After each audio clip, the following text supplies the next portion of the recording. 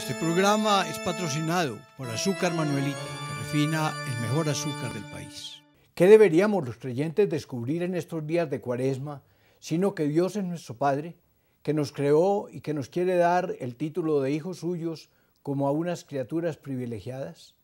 Dios es nuestro creador, Él nos dio la existencia por medio de nuestros padres, Él nos mantiene en la vida, Él nos espera en el cielo para que compartamos su amor por la eternidad.